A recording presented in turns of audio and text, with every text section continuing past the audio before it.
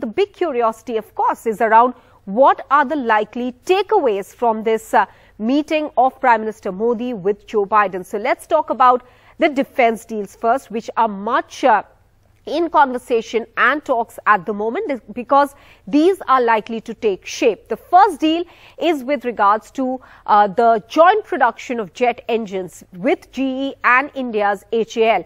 HAL aims to use these jet engines in its uh, latest version of the light combat aircrafts. Apart from this deal, of course, uh, this will also have to be notified to the US Congress if there is any type of technology transfer involved here and that really is the big question is this building the ground for technology transfer?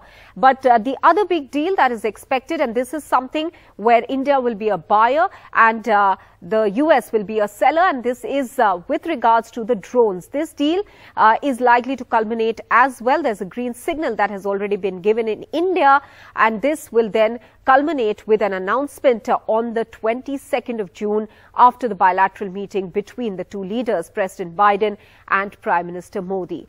Uh, this is as far as the big agenda is concerned. Of course, uh, uh, in the tech sector, big announcements or movement ahead is expected with both sides looking at an initiative in critical and emerging technologies and several heads under it from artificial intelligence to other aspects like semiconductor manufacturing as well. With that, we're taking a very quick break. We'll be back with more. Stay with us.